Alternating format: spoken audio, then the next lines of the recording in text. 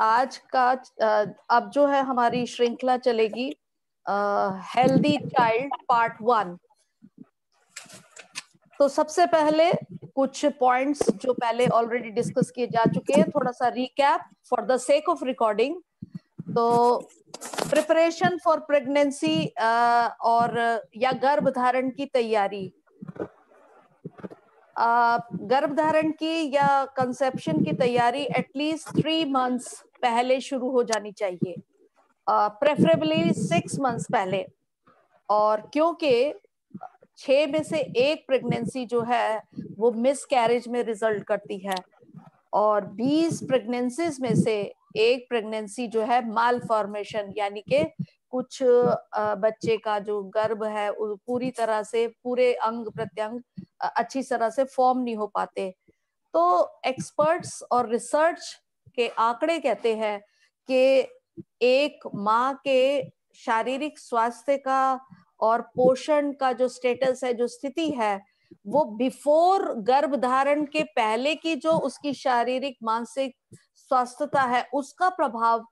Foetus पर या होने वाले बच्चे पर ज़्यादा प्रभाव डालता है। प्रेगनेंसी के दौरान तो स्वास्थ्य अच्छा होना ही चाहिए। बस बट कंसेप्शन या गर्भ धारण से पहले की जो आ, आ, महिला की या विमेन की जो शारीरिक और मानसिक स्थिति है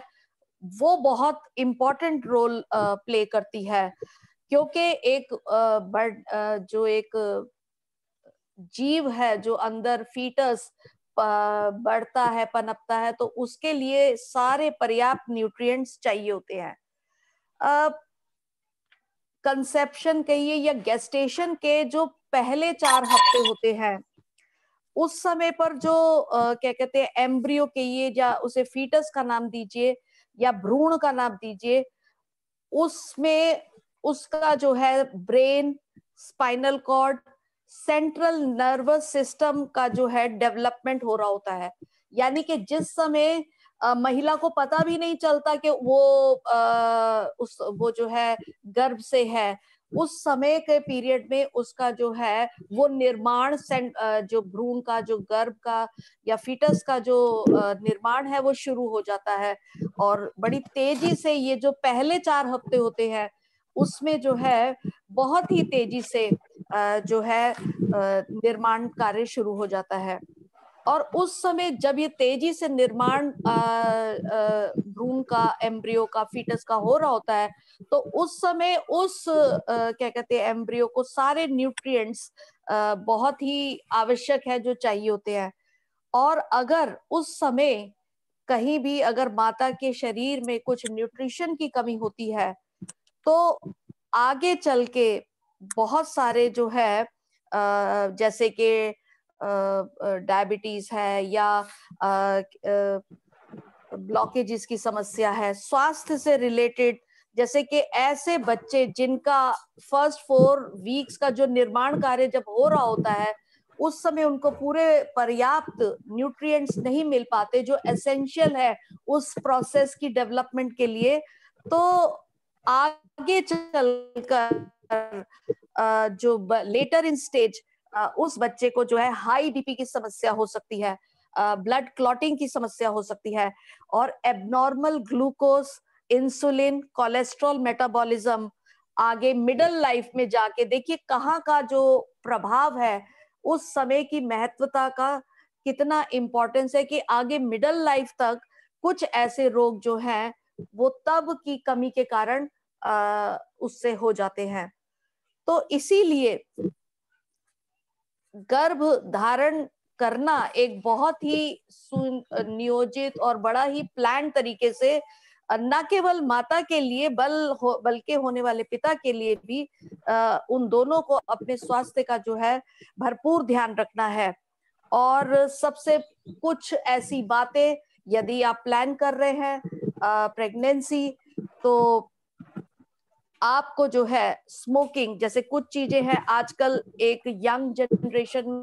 में न केवल पुरुष बल्कि स्त्रियों में भी एक फ़ैशन सा बन गया है स्मोकिंग करना। लेकिन स्मोकिंग जो है, अगर आप जो है प्रेगनेंसी प्लान कर रहे हैं तो दो तीन महीने पहले से ही आपको जो है कंसेप्शन के पहले से ही आपको जो है स्मोकिंग इत्यादि का त्याग करना पड़ेगा। सो एवरीथिंग देखिए मैं हेल्दी चाइल्ड ये सीरीज़ है, इसका कहाँ पे, कहाँ से शुरुआत होनी चाहिए सही मायनों में, मैं वहाँ से शुरू कर रही हूँ। अगर आप यदि स्मोकिंग कंटिन्यू करते हैं ड्यूरिंग कंसेप्शन और उसके बाद तो बल्कि अब इस वक्त मैं बात कर रही हूँ प्री कंसेप्शनल हेल्थ के विषय में, कि वो कितना इम्पोर्टेंट फ़ेज़ है, उस समय कितनी बातें ध्यान रखने की हैं, ताकि आने वाला जो बच्चा है, वो जो है माता पिता की गलतियों के कारण उसे ना बहुत सारी बीमारियों को भुगतना पड़े। तो अगर अगर आप स्मोकिंग नहीं छोड़ते तो उससे जो risk of premature birth है, वो बढ़ जाता है और कॉम्प्लिकेशंस ड्यूरिंग द बर्थ उसके भी चांसेस कई गुना बढ़ जाते हैं। और इंक्रीज के chances of respiratory cough cold ये जो इन्फेक्शंस है, उन बच्चों में ज़्यादा होते हैं जिनके जो माता पिता है, वो स्मोकिंग करते हैं। और कुछ स्टडीज़ ने ऐसा भी बताया कि स्मोकिंग करने वाले जो माए हैं या उनके जो बच्चे हैं उनकी लेटर एज में लर्निंग एबिलिटीज जो है, वो भी अफेक्ट होती हैं। इसके साथ साथ जो स्मो, स्मो जो लोग स्मोकिंग करते हैं और न केवल जो स्वयं स्मोक कर रहे बल जो बल्कि जो पैसिव स्मोकर्स है जो उन लोगों के साथ है वो भी जो है इसके दुष्प्रभाव से अफेक्टेड होते हैं। अब जो इसमें जो लेड है होता है ये कहते हैं सिगरेट में वो भी एक पॉइजनस सब्सटेंस है जो कि माल फॉर्म्ड स्पर्म्स जो स्पर्म्स है उसके जो है आ, सही तरह से बनने में रो, रोधक तत्व है। उसका जो है निर्माण की शक्ति या उसकी क्वालिटी जो है स्पर्म की उससे जो है स्मो ये सिगरेट में पाए जाने वाले लेड से अफेक्ट होती है। बारह हफ़्ते पहले से ही अगर यानी के कंसेप्शन के ट्वेल्व वीक्स पहले से ही जैसे अगर मैं मेल्स की बात करूँ तो उन्हें अपनी डाइट में जो है जिंक है, हमारे होल फ़ी जो होल व्हीट प्रोडक्ट्स है, उनमें जिंक की मात्रा पाई जा सकती है और rather than the refined foods magnesium है होल ग्रेन्स में सीरियल्स में पल्सेस में और सारे तरह के vitamin minerals vitamin A vitamin B सभी की पर्याप्त मात्रा में उनको उनको सेवन करना चाहिए। ये 12 हफ़्ते पहले से ही आहार का क्रम बहुत इंपॉर्टेंट है कि वो अपनी डाइट में होल ग्रेन्स इनकलकेट करें हेल्दी डाइट प्लान करें और जिसमें सीरियल्स हो नट्स हो ग्रीन लीफी वेजिटेबल्स हो और जितना भी पैकेज रिफाइंड प्रोडक्ट्स है, उनका सेवन ना करें। और जो टेस्टिस है मेल्स में उनका, उस पर बहुत ही दुष्प्रभाव पड़ता है लेड का कॉपर का मरकरी और एल्यूमिनियम का, ये ऐसे जो है एलिमेंट्स हैं। तो ऐसे पदार्थ जिनमें ये चीज़ें पाई जाती हैं तो उनको ऐसे घातक तत्वों को, जैसे अल्कोहल है उसका इफ़ेक्ट है, वो एडवर्स इफ़ेक्ट है। तो इस तरह से इन सब चीज़ों से इनका बिल्कुल ही निषेध कर देना चाहिए अपने पूर्ण स्वास्थ्य के लिए। और प्री कंसेप्शुअल जो फूड्स हैं वो हमेशा ये ध्यान रखिए कि low salt low sugar low fat और ज़्यादा से ज़्यादा fresh fruits preferably raw green leafy vegetables और complex unrefined cereals potatoes vitamin B C folic acid और ये सभी आपको जो है धनिया, पुदीना, हरी पत्तियों से खीरे से जो लोग प्याज लहसन खाते हैं, वह उनसे, मशरूम से, मूली से और जितने भी पूर्ण अन्न है होल ग्रेन्स हैं, उनसे जो है पाया जा सकता है। और सबसे बढ़िया जो प्रेगनेंसी का तैयारी मतलब जो हेल्थ की तैयारी है, वो बहुत पहले से, जैसे कि मैंने शुरू में भी कहा, तीन से छह महीने पहले से तैयारी शुरू हो जानी चाहिए। और इससे जो है एक बच्चे को जो होने वाला है नया नई लाइफ जो आने वाली है वो उसका जो है स्टार्ट जो है बहुत अच्छे तरीके से होता है। अब जो हेरिडिटी uh, है हम कहते हैं कि heredity plays a definite part in shaping the physical emotional और मेंटल और स्पिरिचुअल हेल्थ जो आने वाला है बच्चा उसकी लाइफ पर। और हाँ हेरिडिटी कैसे मैनिफेस्ट होती है? स्पर्म और ओवा, यानी के एक अच्छा फीटस एक अच्छा एम्ब्रियो तभी बनेगा जब क्वालिटी ऑफ़ जिसे कहते हैं स्पर्म एंड ओवा जो है, वो हेल्दी होगी तो वो हेल्दी फीटस हेल्दी एम्ब्रियो और उसके बाद जो है, जो भी पर्याप्त न्यूट्रिशन एक शिशु को चाहिए, वो जो है मिलेगा तो हेल्दी हैप्पी चाइल्ड होगा। तो यहाँ पर जो है जो मेन पॉइंट ऑफ़ एम्फोसिस मेरा है आज जो मैं जिस पर के यंग जनरेशन को के जो एक फ़ैशन स्टेटमेंट के तौर पर अपनी लाइफ में फास्ट फूड्स इनकलकेट कर रहे हैं और जैसे कार्य क्षेत्र में यंग एग्जीक्यूटिव्स हैं बड़े बड़े कॉरपोरेट्स में हैं और उनका जो है पूरा जो दिनचर्या है स्ट्रेस में है और खान पान का भी उनका जो है बाहर से या वीकेंड्स पे बाहर जाना, बाहर का बहुत ज़्यादा भोजन इत्यादि करना और जब वो पूरे अपने दिनचर्या से या कहे कि इस भाग दौड़ से क्योंकि एम्बिशन और जिसे कहते हैं प्रतिस्पर्धा आज के माहौल में बहुत कहीं गुना बढ़ गई है। तो एक व्यक्ति हर इस जो है प्रतिस्पर्धा की दौड़ में भाग रहा है। इससे सबसे ज़्यादा प्रभावित जो यंग एग्जीक्यूटिव्स हैं, जो कि they want to make a mark in their life उसमें कुछ गलती नहीं है। लेकिन उस गोल को एम्बिशन को पूरा करने के लिए जो उनका लाइफस्टाइल है दैट प्लेज अ हैवक और वही कारण है आज की यंग जनरेशन में अर्ली स्टेजेस पे अर्ली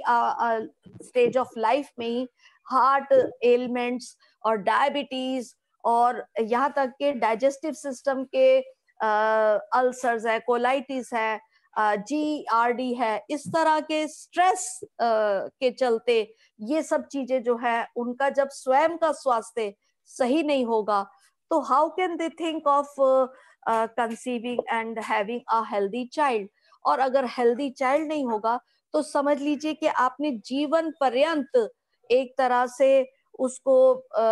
ऐसा जीवन शिशु को दिया कि जीवन वो जीवन भर वो किसी ना किसी रोग से ग्रस्त ही रहेगा। तो सबसे पहले young generation they have to be like physically mentally emotionally spiritually उनको हेल्दी होना है। और उसके लिए they have to plan the exercise regime हमारी बॉडी को फ़िज़िकल हेल्थ को, अंग प्रत्यंगों को सशक्त करने के लिए, देखिए, इस ग्रुप में भी बहुत जैसे कि एक एज से ऊपर के लोग हैं, लेकिन ज़्यादा से ज़्यादा ये मैसेज स्पेशली यंग जनरेशन के लिए है, जो उम्र के उस पड़ाव पे है कैरियर के उस पड़ाव पे है, कि उनका कैरियर अब धीरे धीरे सेट हो गया है now they are they have to plan for uh, a, a family. कि वो ये सब सोचे उनका ध्यान मैं इस तरफ़ आकर्षित करना चाहूँगी कि the pregnancy whenever they think of having a child in their life so it's a responsibility it has to be plan because you are the heredity uh, वो जो बच्चा होने वाला है उसका जो हेरिडिटी फैक्टर वो आप आप ही प्रदान करेंगे और वो जितना हेल्दी होगा उसी तरह से वो the healthy child and that child will thank his और हर एंसेस्टर्स सो इस बात की बड़ी महत्वता है। इसके लिए एक उदाहरण भी है। एक आप लोगों ने सभी ने ये ज़रूर देखी होगी एक क्लिपिंग की। एक, बहुत छोटी बच्ची ने बड़े सारे मंत्र एक रफ्तार में इतनी तेज़ी से और बड़े कंठस्थ से उसे तो उसके जब पेरेंट्स से पूछा गया कि भाई ये इतनी छोटी बच्ची और इतने बड़े बड़े मंत्र और पूरा जो है, पूरे के पूरे ग्रंथ उसे कंठस्थ थे तो ये कैसे पॉसिबल है? तो उनके पेरेंट्स ने बताया कि उसके जन्म से पहले ही जो उन लोगों की माता पिता की रूटीन थी वो स्वयं कितना उसमें जो है धार्मिक प्रवृत्ति और अपनी लाइफस्टाइल में उन्होंने कितना जो है आ, सारे जो जिसे कहते हैं कि फ़िज़िकल मेंटल स्पिरिचुअल एस्पेक्ट्स को अपनाया था और स्वयं की दिनचर्या को उन्होंने जो है बिल्कुल प्लान किया था। As a result of which जिसे कहते हैं कि इसे गर्भ संस्कार के नाम से भी काफ़ी जगह जो है इसको महत्व दिया गया है और सभी लोग इसको बहुत अच्छे से जानते होंगे। लेकिन ये बात हमारी जो है यंग जनरेशन की समझने की है कि health is gonna play important role, चाहे आप उम्र के किसी पड़ाव पे भी है, कैरियर के पड़ाव पे है और on top of that physical health के साथ साथ मानसिक स्वास्थ्य कैरियर इंपॉर्टेंट uh, है लाइफ में एम्बिशन इंपॉर्टेंट है और लाइफ में आगे बढ़ना इंपॉर्टेंट है. But we have to stop and see at what cost at what cost we are achieving all those things उम्र भर हम लोग uh, इस पैसे की भागदौड़ में भागते हैं और जब वो पैसा अचीव कर लेते हैं तो वो डॉक्टर्स को जाता है बीमारियाँ सही करने। वो कहते नहीं है, एक कहावत है, बड़े अच्छे नेचुरोपैथ ने कहा है कि one third of the nutrition of the food goes to the our body and two third goes to the doctor क्योंकि हमारा जो भी हम मेहनत करते हैं, मेहनत का पैसा है, वो जो है पहले हम स्ट्रेस में रह के और कैरियर की उपलब्धि में इतना लग जाते हैं और उसके बाद पैसा कमा लेते हैं और वो पैसा जो है, वो डॉक्टर की जो है इलाजों में जाता है। तो यहाँ बहुत ही हमें अलर्ट और सतर्क होने की ज़रूरत है। यही आज का जो है, और इसीलिए देखिए ये शारदा एक्ट जो बना था कि किसी भी लड़की की जो शादी की उम्र 18 से पहले ना की जाए और 21 साल से पहले जो है, ये कानूनन अपराध है उनका विवाह करना। उसके पीछे जो रीजन था, जैसे एक कुमार जो है मिट्टी का घड़ा बनाता है तो जब तक उसको वो बेक नहीं करता भट्टी में, तब तक वो किसी चीज़ को होल्ड करने लायक नहीं होता। आप उसमें कुछ भी कच्चे घड़े में कुछ भी डालेंगे तो वो जो है, उसमें जो है टूट जाएगा वो। ठीक इसी प्रकार से हमें अपने जो है चाहे फीमेल्स है, चाहे मेल्स है मेल्स को भी अच्छे क्वालिटी स्पर्म के लिए अच्छा भोजन nutrition diet stress free life और बहुत सारी प्लानिंग की ज़रूरत है। और फीमेल्स को अपना जो है गर्भ धारण के लायक अपने शरीर को बनाना। यदि आज की यंग जनरेशन वेट को ही सिर्फ़ अपनी लाइफ का टारगेट बनाएँगे, ये खास रिक्वेस्ट है आज मैं यंग जनरेशन से कि वेट को इतना ओवर, जिसे कहते हैं तूल नहीं देना चाहिए, क्योंकि हम लोग बड़ी बड़ी मैगजीन्स, मूवीज़ और इससे प्रभावित होकर हमारी यंग जनरेशन वो बनना चाहते हैं। लेकिन याद रखिए, जो ग्लैमरस लुक या आपको एक मैगजीन में या एक टीवी में या पिक्चर्स में स्टार्स की मिलती है, उसके पीछे कम से कम पच्चीस, तीस, पचास लोगों की टीम होती है उसको बनाने के लिए और उसमें जो है बहुत कुछ कैमरा ट्रिक्स भी होते हैं। और इसीलिए आज के इस लेक्चर को मैं इस पॉइंट से खत्म करूँगी कि अगर आज की हमारी जो जनरेशन है, जो भावी समाज का निर्माण करेगी और भावी कैसा हेल्दी समाज। तो हेल्थ पर बहुत ज़्यादा तवज्जो देने की ज़रूरत है। लाइटली ना ले, क्योंकि आगे चल के उसके रेपरकशंस ना केवल आपको, बल्कि आपके होने वाली संतान को। अगर आपको जो है, अपने पैरामीटर्स हैं, वो वज़न की मशीन को अपनी ज़िंदगी से हटा दीजिए। वेइंग मशीन को अपनी लाइफ का क्राइटेरिया मत बनाइए। आपको जो है, जो पैरामीटर्स है your body will tell you your quality of hunger अगर नेचुरल हंगर आपको लग रही है, भूख लगती है नेचुरल आपको जो है, आपका नींद की क्वालिटी ना केवल quality but quantity of sleep आपकी स्लीप जो है अगर अच्छी है तो आपके शरीर की जितनी वियर एंड टीयर वाली मैकेनिज्म है, वो जो है रिपेयर होगा और आप अगले दिन के लिए फ्रेश होंगे। और आपको ये देखना है कि लेडीज़ जो उनकी साइकिल है मेंस्ट्रुअल साइकिल वो क्या सही है? थोड़ा भी काम करने से कहीं आप थक तो नहीं जाते। ऊर्जा के बजाय वेइंग मशीन को बार बार चेक करना आप अपनी ऊर्जा के लेवल को एनर्जी के लेवल को आकिए कि क्या मेरी एनर्जी लेवल वही है जो कुछ साल पहले थी या मेरी वो डिटेरियोरेट हो रही है? तो यदि हो रही है, क्योंकि आंकड़े बताते हैं, बच्चों की अगर स्टूडेंट्स का भी अगर रिसर्च डाटा देखे तो उन्होंने पाया कि 70 परसेंट ऑफ़ द स्टूडेंट्स में किसी ना किसी जिसे कहते हैं मिनरल्स विटामिन की डेफिशिएंट पाई डेफिशिएंसी पाई गई है। तो इस तरह से जो स्टडीज़ बताती हैं कि हमारा जो कुपोषण है,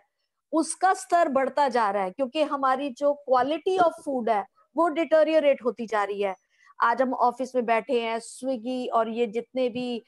होम डिलीवरी सिस्टम है, बाहर का हम खाते हैं तो जो फ़ूड है, वो बेसिकली उसकी क्वालिटी डिटोरियोरेट हो रही है, इसके कारण हमारा हेल्थ डिटोरियोरेट हो रहा है और उस चीज़ को और एग्रावेट करने के लिए स्ट्रेस तो है ही। तो फिर इसीलिए यहाँ जागरूक होना बहुत आवश्यक है और जो ग्लैमर को देखकर हम उसी को गोल बना लेते हैं और अगर उसी को अगर हम अपनी लाइफ का ध्येय बना लेते हैं कि साइज़ ज़ीरो या इस ड्रेस में फिट होना ही मेरी लाइफ का मकसद है तो प्लीज़ प्लीज़ प्लीज़ इस मानसिकता से उभरिए वेइंग मशीन को अपने घर से बाहर निकालिए और अपनी स्फूर्ति, शक्ति, ऊर्जा इन मापदंडों को आप देखिए कि क्या वो वहीं बरकरार है। और most importantly when you get up in the morning ask yourself are you ready do you really want to go to work और you have to go to work ये मोस्ट इंपॉर्टेंट क्वेश्चन आपको पूछना है कि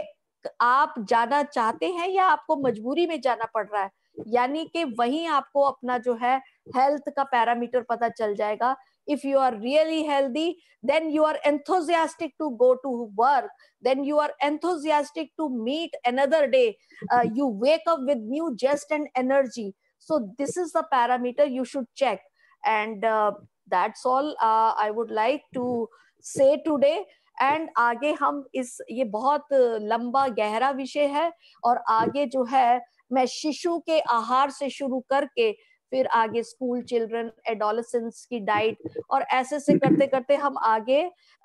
इस series में चढ़े चलेंगे। तो इन्हीं शब्दों के साथ I would thank all of you and अगर कोई प्रश्न है तो जी पूछिए। जी। मैडम, प्रश्न तो अभी आपने इतना क्लैरिटी कर दिया, लेकिन जैसे physical mental emotional spiritual health है, ये तो बहुत इम्पोर्टेंट होते हैं। मतलब इसमें आपके क्या व्यूज़ होते हैं मैडम जो हेरिडिटी की आपने बात बहुत अच्छी चर्चा की, लेकिन कहीं कहीं वो मतलब प्रारब्ध से ही कुछ कर्म ऐसे होते हैं, प्रारब्ध की कुछ बातें ऐसी होती है जो इनकलकेट होते ही होते हैं। तो उसमें आपका क्या कहना है?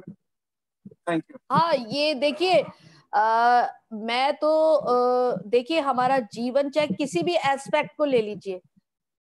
देर आर सर्टन लिमिटेशन हमारे हाथ में जितना है कर सके, लेकिन क्या हम जितना हमारे हाथ में हम वो कर रहे हैं? प्रश्न यहाँ वो है।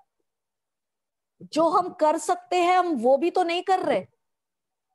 हमें सिर्फ़ अपना वो कर्म करना है, बाकी तो देखिए बहुत सारे फैक्टर्स हैं, वो अपना रोल प्ले करेंगे, लेकिन the question the most important question क्या आपको नहीं लगता कि आज थोड़ा सा माहौल डाइट का या यंग जनरेशन का थोड़ा सा हमारे, जैसे कि अगर हम कुछ